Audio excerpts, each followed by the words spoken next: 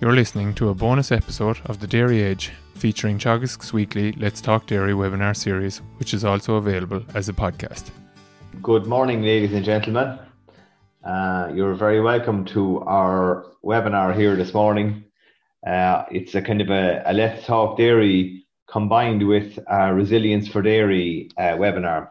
So, in addition to our Irish uh, participants this morning, we're hoping to attract an audience from across Europe, and they're well aware that we'll be speaking English here this morning. In case anyone is wondering how our European farmers going to um, understand what's going on. So, um, in terms of the objective of the webinar, we're, we're going to talk to Ned Dunphy.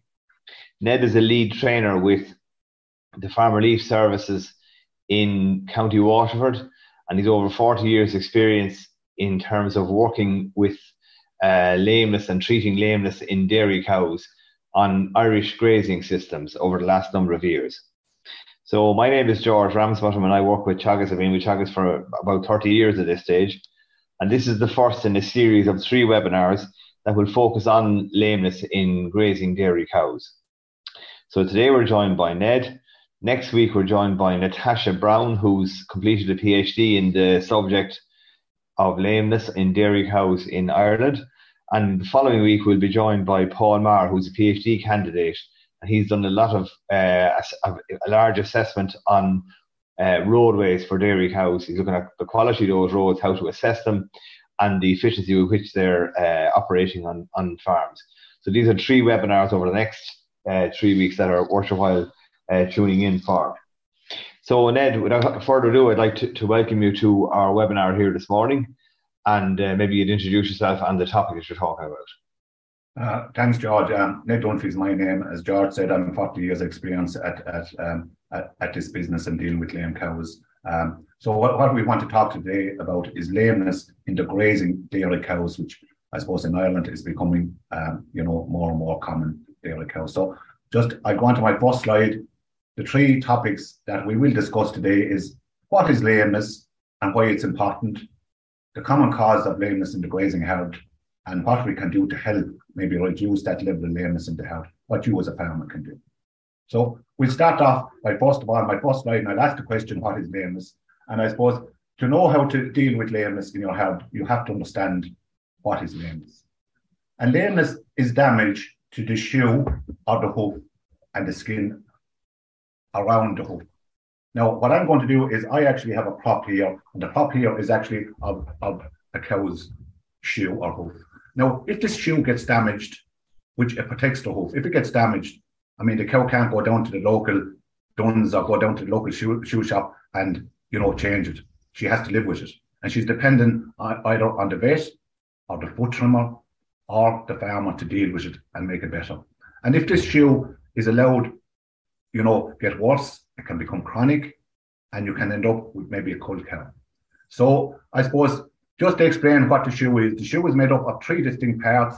First of all, it's made up of here. What we can see here is is the, the wall, and the wall actually grows here from the hairline. It grows from the hairline, the same as the cutex in your nails. Your nails grow from the cutex, so that grows down from the hairline. The second part here is actually the sole, so if we look at the sole here, the sole, the sole grows from what we call the quick or the flesh in the sole of the claw near the bone. And the third, I suppose, important part of this shoe or this hoof is actually the white line. And the white line, I see it here, it's actually shown black here, but it's actually the white line, and this is actually a welded junction. And this is a welded junction that actually welds, you could say, the wall and the sole together. And this is often a weak, the weakest part of the, the, the hoof simply because it's the weld. And as we all know, a weld is the much easiest part to break in anything. Another thing to understand about the hoof is the hoof grows at the rate, like it's not very thick, it's only 10, I suppose, 8 to 10 mil thick. And it grows really at the rate of 1 mil per week or 5 mil per month. And it wears at the same rate. And sometimes, depending on what we call maybe the influence, what influences lameness, the environmental factors. And the environmental factors can be when cows work on a roadway, especially grazing, grazing cows, they have to walk long distances. Sometimes the wear can be exceed the growth. So you end up with tin soles, you end up with, I suppose, tin white lines, and you end up with stone damage in those white lines, and consequently you end up with lameness. The other factor that can cause the environment factor is housing. When cows are residing in housing, if they haven't enough cubicles and they stand, they're standing a lot, they can end up with sole bruising, and they can also end up with what we call uh, sole ulcers. Another, another factor that probably influences lameness is the disease factor. And the disease factor really is a disease called digital dermatitis, which our international, I suppose, participants will, will know. In Ireland, we know it as Mortellaro disease, which was first, I suppose, discovered back in 1977 by a guy called Mortellaro. He was actually um, uh, Italian. And the first cases of Mortellaro in Ireland was in about 88, it was discovered in Cork. And it, it, it came in really through, through animals being brought in. Now, I suppose the next question I suppose we need to ask is why, why is lameness important? Well, lameness is important from a couple of different factors. From number one, it's it's a painful disease, and I suppose it really restricts how the cow moves. It restricts how much the cows eat. It, it, it restricts, I suppose, the level of, of production and maybe her condition as well. I suppose another factor, and I suppose we, we all need to look at as farmers, is money in our pocket. So the average cost of a lame cow done research done back in 2004, which was more than 20 years ago, when milk was at 30 cent a litre or maybe less, was 300 euros per cow. That is the average cost. Some levels of lameness might only cost 60 or 70 euros. Some levels of lameness, like sole ulcers, will cost you five or 600 euros. So they actually took the average cost of the cow and they spoke into both direct and indirect costs. And like based on maybe a hundred cow herd, you could be looking at costs of anything from 10 to 12,000, um, you know, on your herd, you know, related to lameness. And I suppose the last issue, and I think it's a big issue, especially here in Ireland, because we regard ourselves as a very green um, country from the point of view of, of, of production. Um, and like, you know, at the end of the day, if the housewife goes into either Dunnes or maybe Tesco's or, you know, into the shop mall to buy a pint of milk, and uh, if she realised, look at that, this this pint of milk or this milk was wasn't produced from in a gallon, it was produced from a cow, and maybe you know, a cow that was lame, would she be as inclined to buy that milk? And I think that's an important point. You know, the, the perception out there, and we need to keep the perception correct. And that's why lameness is so important, that we need to drive down lameness and reduce the level of lameness in our health. So going on to my next slide here, and what I want to talk about is the three common causes in the grazing hound. Now, I suppose the three common causes, first of all, white line disease, then we have sole ulcers, and we have the disease called digital dermatitis or Mortellaro disease. Now, I start off by talking about, I suppose, white line disease. Now, if we if we look at this, and if you see my cursor uh, here on my right hand side, we have every cow has, I suppose, eight claws. She has an inner claw and an outer claw. And on the right hand side there, we, we can see it's our inner claw. And the inner claw in this case is only carrying maybe 30% of the weight.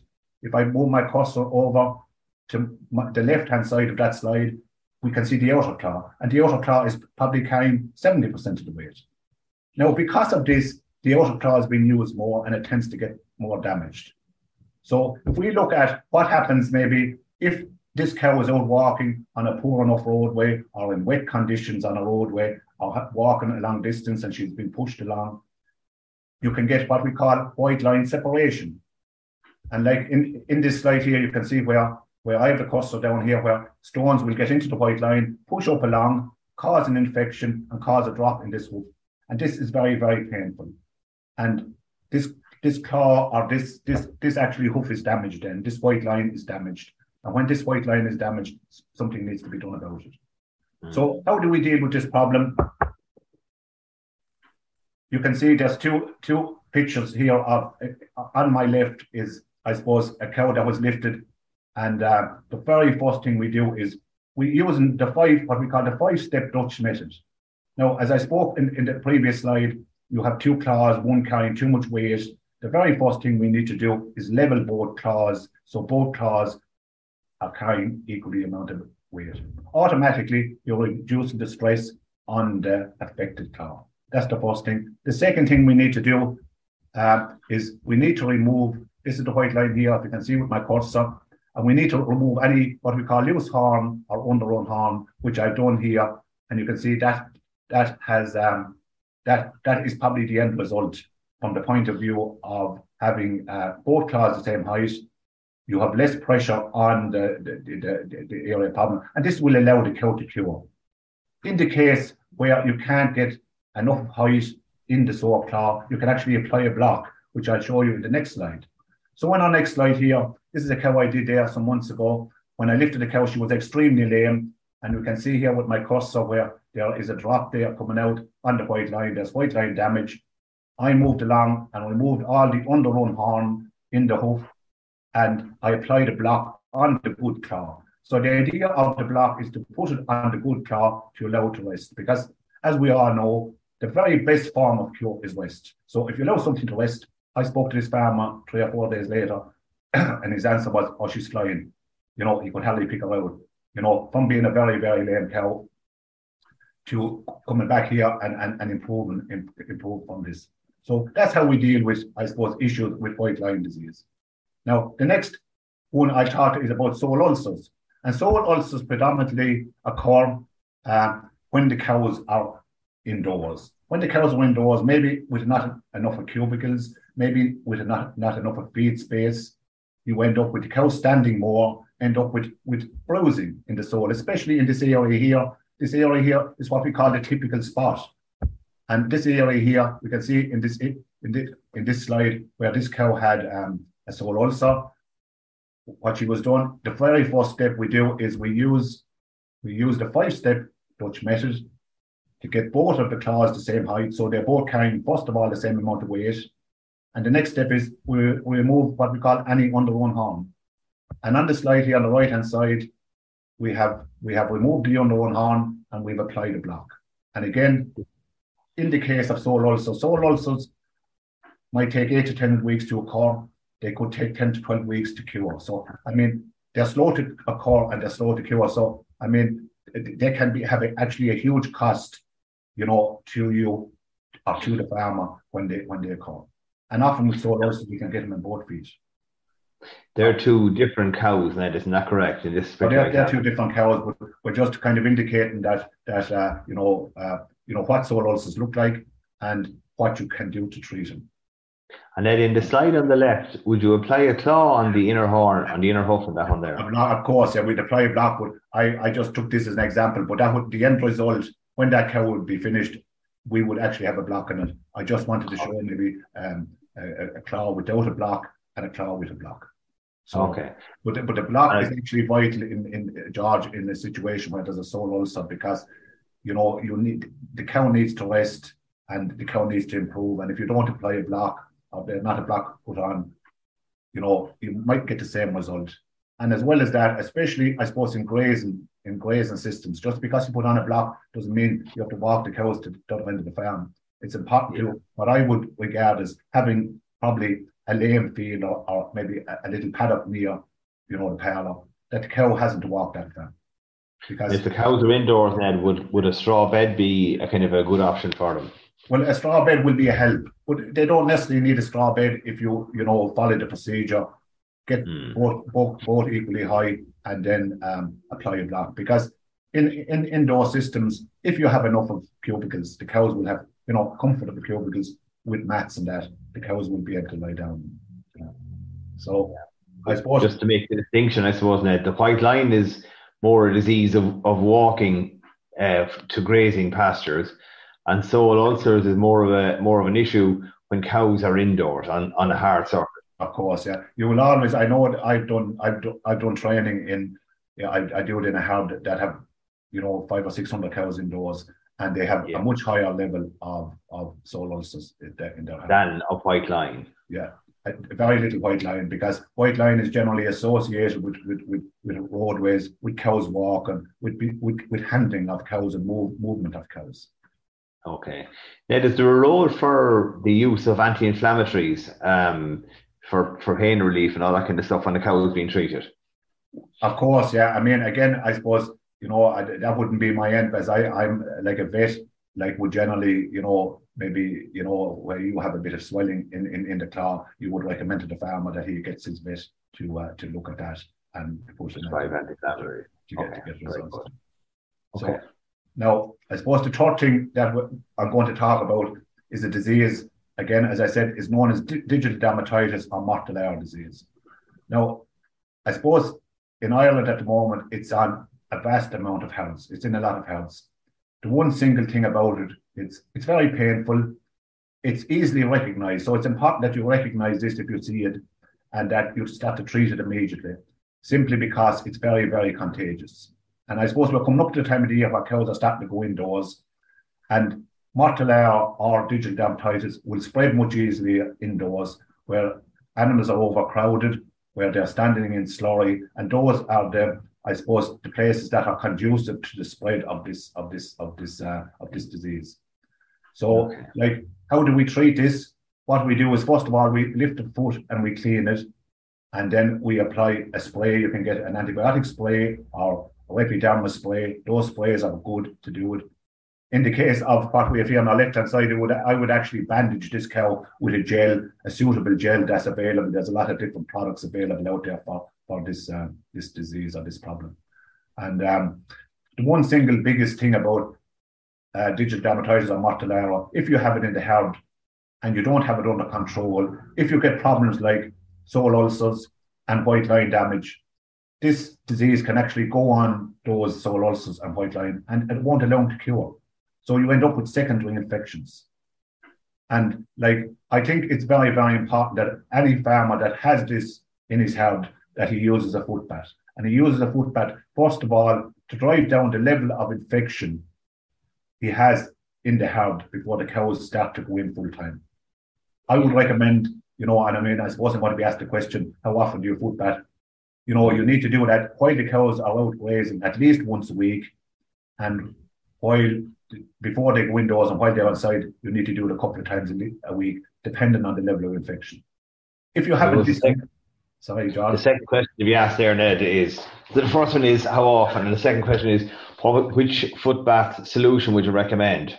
Well, I suppose, George, in fairness, there's a, there's a hundred different foot bath solutions out there, Yeah. and uh, like the most important thing is, as as I said, a farmer asked me before that exact questions, and I said the most important thing to put into a foot bath is the cow, because Yeah. there's a lot of people out there and they don't use a foot bath. There's a lot of products out there available. They'll all do what they say on the tin, as long as you follow the correct instructions. I had issues with farmers that weren't getting good results on particular products. And the first question I asked them was, how much water was in the foot bath? I'm not sure.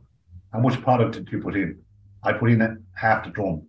But mm. really, you need to put in the correct rate to the rate of water to get the best results.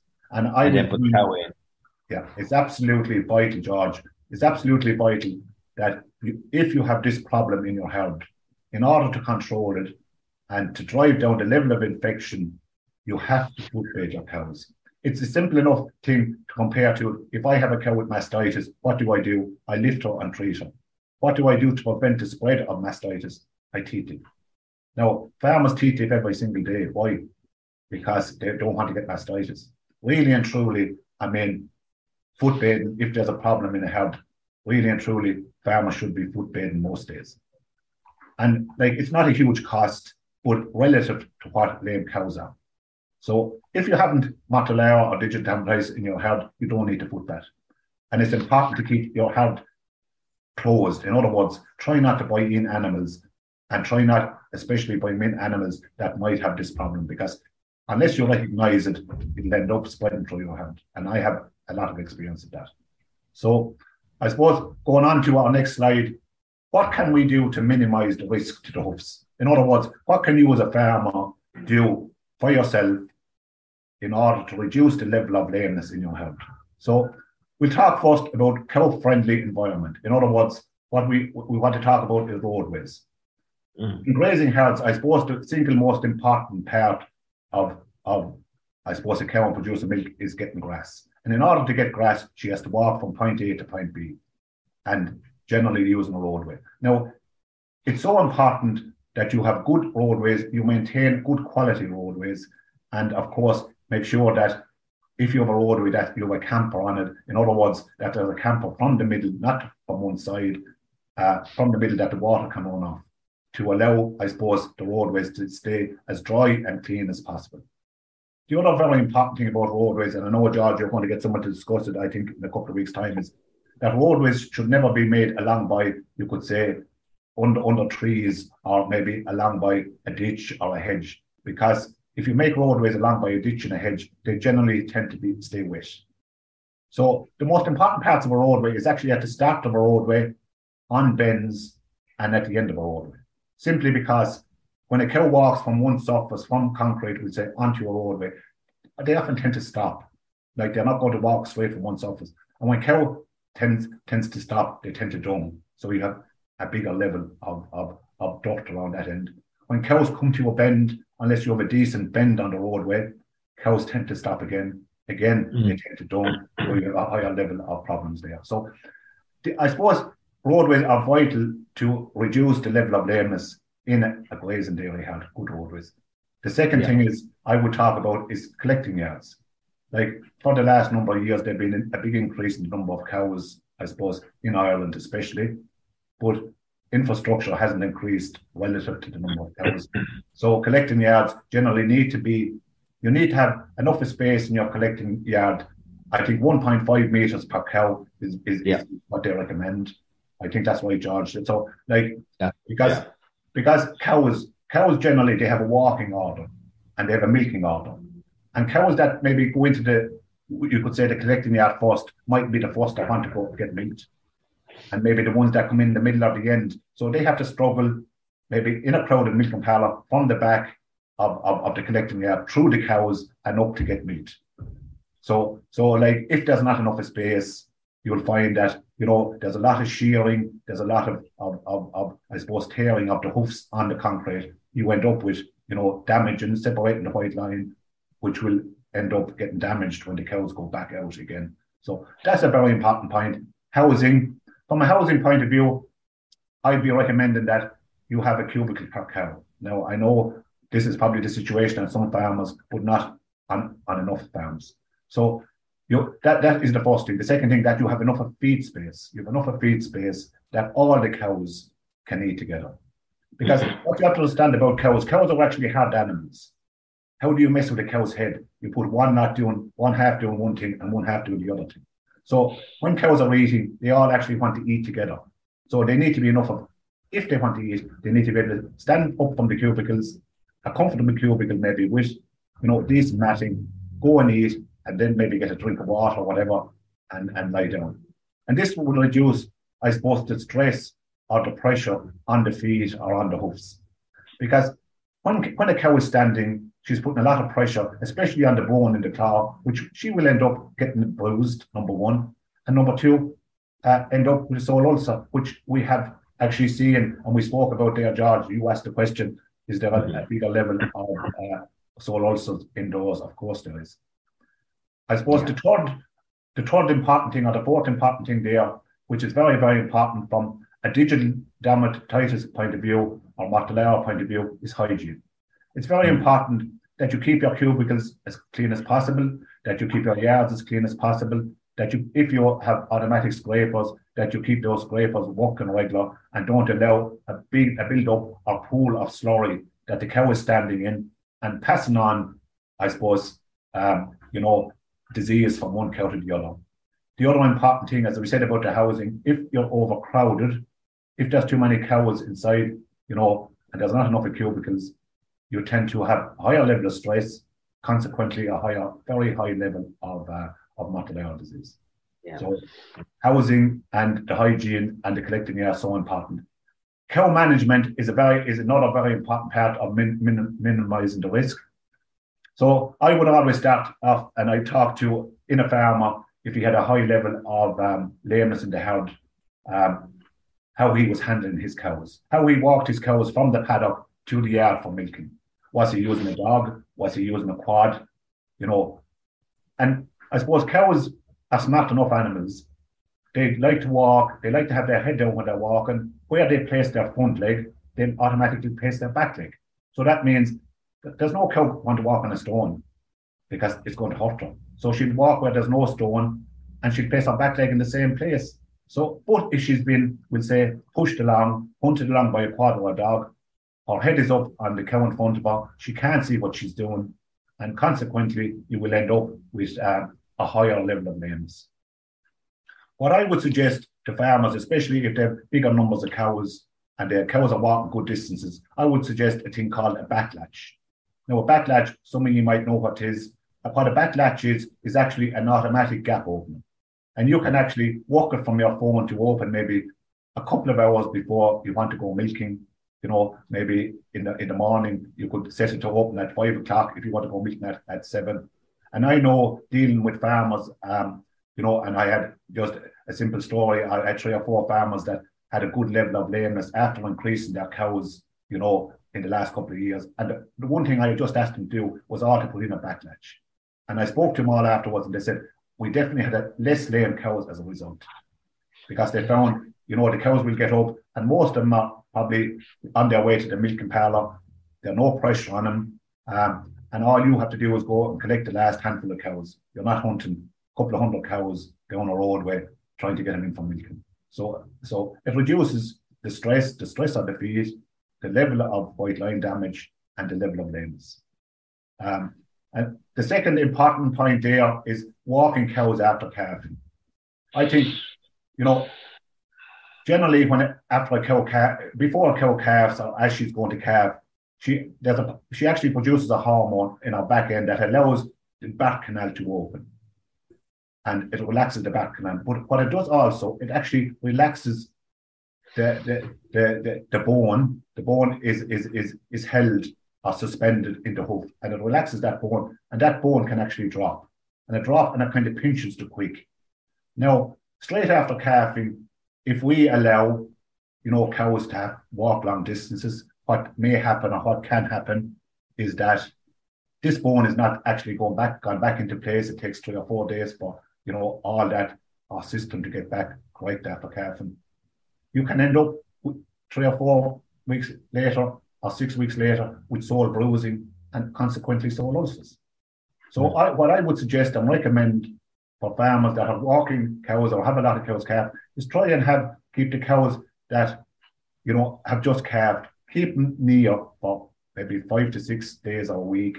Try and have a few paddocks around local. I know it, it, it's not that easy all the time, but it's important you do it if you want to kind of drive down the level of lameness in your heart. I suppose the other option then the other option there is to probably keep them in for a few days after calving in pasture based systems, you know, leave them in, in close to the parlour, you know, in a shed there beside it. Um, I think that's I think that's very important. I think I think is is to once you get a system in place, you know that you can actually you know reduce. I suppose you know what what how far the cows have to walk or how far the cows have to go, especially after calving, will help okay. in all this thing. Because everything I'm talking about here is, is a package. I mean, every small yeah. thing you do will will help in reducing the level of lameness. Another important thing is uh, introducing heifers. And I think it's important to do it from what I see that they're introduced into the main herd before they calve, because you can understand what happens to your cow at calving. She may have a big calf, number one.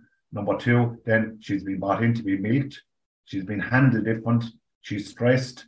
And then she's maybe been bullied because she, she doesn't, she hasn't been introduced into the main herd before before she calves and maybe she's not allowed to go get a drink of water, maybe she's not allowed to go feeding. So consequently, she'll end up with different problems and and feed problems because she's kind of, um, I suppose, her feet are way on, she's moving more, she's turning more, she's trying to get out of the way of, of, the, of the bully cows and that. So, like, if we can probably, we can do very little about, I suppose, our calving or the milking, but maybe we can do something about, you know, uh, the bullying end of it or, or that end of it to reduce the stress on that heifer. Mm. Uh, now, I suppose from a lameness program point of view, you know, it's another way of minimizing the risk to the hoof. I would be suggesting, and I know I spoke about early on, that anyone has a problem with digital dermatitis that you have to foot bed. And using a foot bed, it's important that if, if foot bedding is an issue or a problem or a chore, farmers are not, not inclined to do it. So I would suggest that farmers either build their own footpath, a concrete footbed, that the cows, like building a footpath, or never build a footpath you, you step down into. Always build a footpath that the cows have to step up into. They prefer to do it. Or you can buy you can buy a concrete foot bath. There's there's a lot of the, the agri stores now are selling selling concrete foot baths. Um, I don't believe that the plastic foot bath is is correct. First of all, it's too small. It makes a lot of noise. The the, the foot bath at the end has ridges, and you can imagine if I have sore feet, I don't want to be walking on ridges. So, mm. like it's it, it, it's very important to have a good foot bathing program in place. As I said, you foot bath your cows at least once a week while they're out grazing and before they're introduced into the housing system, that you up that and while they're inside, you continue to do that to drive down the level of infection. Um, the second thing, very, very important, early detection and treatment. So it's so, so important that when you see a lame cow, that you treat her immediately, if possible. Now, I know in situations it might be difficult enough to get a vet or difficult enough to get a foot trimmer, but like maybe hopefully down the line that you know that some of the younger guys coming out out out of different programs will have be able to actually recognize maybe a problem and be able to deal with this this lame cow as she comes and then get any foot trimmer to do um, regular foot trimming. Uh, yeah. That is so important because if a cow is neglected and um, she ends up getting chronically lame, you get a lot of damage to the foot. And then the farmer will say to you, Oh, did you treat it all again last last month or the month before? Of course I did, because she's going to be a continuous problem simply because it had the problem had become chronic and you can't cure it. It's the very same as if any you ever broke your nail or that, you'll always find there's a bit of weakness there. There's always a weakness where that damage is done. So it's yeah. so important early detection, early treatment, early recovery, more money in your pocket. And I would always suggest that any farmer, especially with larger number of cows, can mobility score their cows because the bigger the numbers, the harder to detect cows getting lame. Going back in our time, I suppose, George, there was always only 10 or 12 cows on a farm, and I suppose they, we even knew, knew them by names. But now there's two and 300 cows on a farm, which is a completely different um, situation. And um, you have to mobility score. I mean, farmers can learn how to do that. There's a, there's course that is being done from England. You can do it online. But if you understand how to do it, you can easily take out the cows in time before they get too lame and get them trimmed to prevent them coming to the, the stage where they, they become very, very lame. So um, so those are the are the what I would be suggesting to all farmers to help them on their farms to reduce the level of lameness in their herd. Question in there, uh, Ned. Are black soled hoofs less likely to be prone to lameness? I, I believe I believe they are. They, they just tend to be. They, but but at the end of the day, George, a lot of it will depend on conditions. Even if you have black soles or any color soles, you know, if the cows are walking long distances, if you have poor roadways, you still tend to have a, a good level of lameness. But definitely, you will always find if you lift a hoof, it can be black and it can be white as well, can be both of them. And generally, the pigment of the black hoof tend to be just that little bit harder. And if it's harder, it's less susceptible to, to damage. Okay. So I suppose I'm going to look here. My take home message really to everyone listening here in here today is first of all, have a good lameness program in place. So what I mean by that is if you have digital dermatitis or mottle on your heart, you have to foot bath. And you have to foot bath regular, and you can't say, ah, I'll give it a skip this week, because if you give it a skip this week and next week, you'll find that the level of infection has increased and you're back to stage one again. Farmers that are walking cows long distances, roadways are so, so important. Keep your, do your roadways, keep them as good as possible, um, because at the end of the day, it's so important for the cow if she's traveling long distances from, from the milking parlour to the field that the roadways are good. And I would suggest as well is, if at all possible, try and keep heavy machinery off the roadways. Mm. Often on silage time, you see uh, big tractors and trailers driving mad up and down roadways, tearing up the roadways, doing a lot of damage. And it, it costs tens of thousands to to actually put in roadways. It's very easy to, I suppose, um, you know, get rid of that 10,000 by that. I would suggest drop wires inside the roadway and leave the leave the trailers pass up and down beside the roadway to reduce, um, I suppose, the level of damage that these these tractors and trailers can do. Uh, the other very important thing is animal handling. I think it's very, very important that either your herdsmen or yourself that there's an SOP in place, standard operating procedure on how to handle your animals. In other words, no sticks, no shouting, move your animals nice and quiet along, and you'll find you will have a lot less lameness. I also spoke about a Batt-Latch. I would recommend any farmer to try using it. Any farmer I know has been using it. They said it's one of the best investments they've made. There's a, um, a question here, Tony, and the first thing is, the person says is that he can highly recommend the Batt-Latch actually put one in earlier this year. His uh, question is, uh, would you recommend having the entire herd hoof pared once a year? I I would I wouldn't say I wouldn't say trimmed. I would say inspected, because you you could get it done.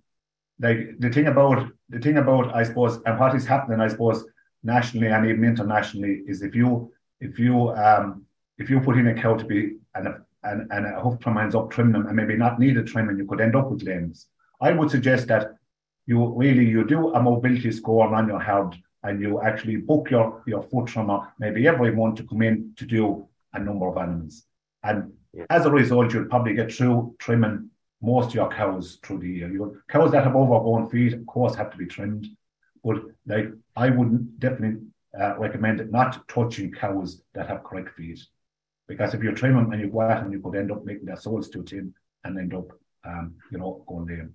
Because a lot of foot trimmers actually using grinders and that and like, if you touch a grinder off a hoof that doesn't need it, you end up taking something you're taking off. You can't put it back on, George. You know what I mean? So yeah.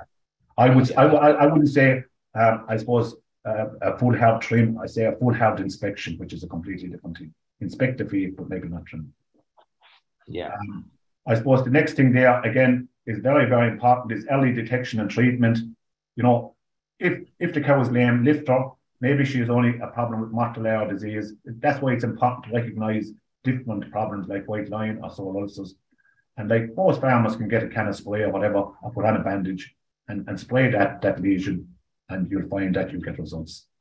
Um, and Ned, the question in on that, what would you use uh, in the dressing? Um, um, yeah. Say, for example, for Mortellaro in particular, maybe. Well, in Mortellaro, there's there's a lot there's a uh, there's there's a lot of different uh, there's a lot of different um, you know um, I suppose things out there. There's a there's a Repiderma gel. Uh, you can get it. You can also get there's there's a lot of I suppose here in Ireland, especially a lot of people that that sell hoof care products.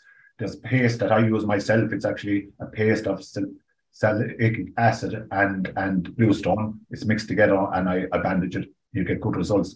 So I suppose really what I would say to whatever area you're in is maybe go to your local, maybe agri store, and most of them do stock, um, you know, some of them do stock the products that are available. They'll all do what they say on the tin. What's very, very important if you're bandaging a cow, that you only leave on the bandage two days. If you leave it on longer, sometimes you can end up with the cow going very lame because the bandage will stop the blood supply in the hoof and end up maybe with the hoof falling off.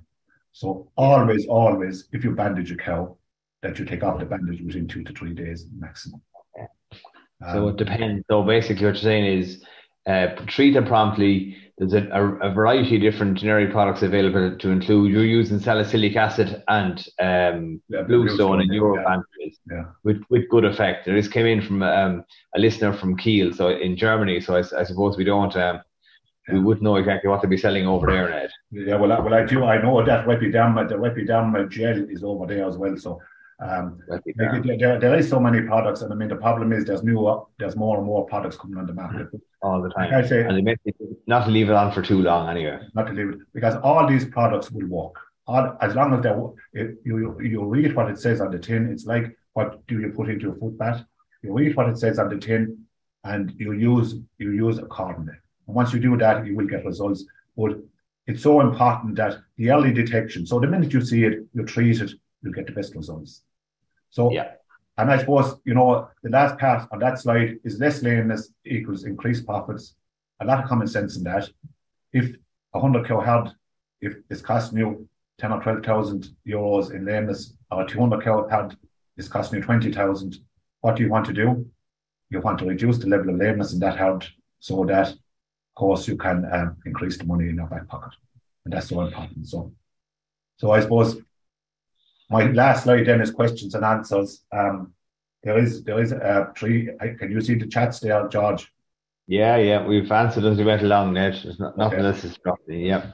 So if there, uh, yeah, okay. Uh, Yaris, thanks, Yaris. Yaris is very good um, practical advice there, uh, Ned. So if I could leave you with one question, Ned. Thanks, Yaris. If I could leave you with one question there, uh, Ned, it would be if you could only do one thing to reduce lameness in grazing herds, oh, what would it be? Well, I, I suppose I would put one with you. I would say, I would say number one is put in a Batt-Latch and train your your your your um your staff or yourself how to handle animals. Handling of animals is vital. I know it from experience. I've seen it from experience. Herds, herds that have issues with lameness, especially in grazing herds, are guys that maybe spend more time shouting at animals and moving them too fast yeah. and having patience. You have to have patience I mean, at the end of the day, what you everyone must realize here is the cow is your bread and butter. She's making the money for you. You need to look after her. Okay. And a question in from someone from John here: Should the hoof pair skim off the bare minimum? The the, the hoof trimmer should examine the, the foot. Yeah. And if she needs to be trimmed, he trim her. If she doesn't, he shouldn't touch her. Yeah. And that is the reality. You should never trim a, a foot and especially an inner claw. The inner claw, in 99% of the time, should never be touched unless it's overgrown. If you trim an inner claw, you actually lower it. So it's much harder for you to to uh, move the weight. What we try to do when we're foot trimming is move the weight from the overgrown claw, which is the outer claw, onto the inner claw. But if I if I lower the inner claw, it's much harder to do that, and often you'll end up trying to do that and maybe over trimming the outer claw. So yeah the one thing I would say about foot trimming is if you take it off, you can't put it back on. But if you don't, if you don't take it off, you can always go back again and examine it again and take a little bit more. So yeah. I, I would always suggest is just, you know, when you're foot trimming cows, always examine them. And it's so, so important as well as if you get wet weather, and especially this time of the year, a lot of the feet are very warm. There's very little, I mean, all you can do at the moment this time of the year when cows are walking is treat your lame cows. You can't trim feet because yeah. if cows are still walking, their feet are wearing more than they're growing, and you're going to end up with very thin soles. Consequently, you're going to end up with more lame cows. Yeah. Question there in Ned. What's the cost of the Batt-Latch? The Batt-Latch, I think, is something in the region of 500 euros, give or take. Now, I, I suppose if, if we put it in context of one lame cow or two lame cows, it's a great investment. There's yeah. two variations of them there, George. There's uh, um, yeah. you can get it. I think 400 is probably the lowest I've seen them advertised for, which is the standard one, which is the set the timer that Ned is talking about. And then there's right. one that can be actually triggered by a uh, mobile phone, which has a SIM card included in it. That's nearly 700 or 750. Yeah, exactly. That's my understanding too. Yeah. So there's a bit of variation there now, depending on how sophisticated you want them. Exactly. But, but, but I mean, but Nate's point, I suppose, George, is that in the overall scheme of things, they're very cheap relatively. Yeah. Absolutely, two cases to buy any of them. Yeah, uh, what's actually a very good idea there, Stuart and George, in a Batt-Latches. You'll buy a Batt-Latch. What I have got guys to do it, and I actually stood and watched. You know, I suppose the first week, well, not the first week, but the first day of the Batt-Latch in a place. I got them to put in um, a, a, gallon, and I cut the top out of it, and there were stones in it. So when the Batt-Latch opened across, it went back and it made a noise the same as a bell. And the next thing mm. you see the cows standing up and they're looking around. So it was the same as an alarm bell. A few of them will start to move towards the gap. And then, mm. You know, cows will follow one another. And once you get a few in, you won't might get them all, but you most definitely yeah. will get enough of them to reduce the pressures while they're walking when you're hunting. Yeah. Absolutely. Coming And then they're coming in, choosing the space and coming in at one time. Listen, um, ladies and gentlemen, uh, thank you very much for your attendance there. Look, Ned, we've gone on a little bit longer than we'd anticipated initially. Um, I suppose the core things uh, you cover there are the costs, which is 200 a case, or around 10,000 a year in the average farm. Um, and if you were given a choice of one thing, you said that would be around the whole area of handling cows and using the latch to try and reduce the stress on cows and the pressure that you're putting on them are coming in. And with no further ado, uh, ladies and gentlemen, we, we thank you uh, very much for your attendance we look forward to talking to you again and presenting again to you in, in a week's time. Thank you very much, and thanks so much, Ned, for your for your contribution. Thanks very today. much, George. Thank you. That's all for this week's bonus episode from the Let's Talk Dairy webinar series, and don't forget to look out for more bonus episodes each week. I'll be back with the usual Dairy Edge podcast on Monday, so do listen in then. I'm Stuart Childs, and thanks for listening.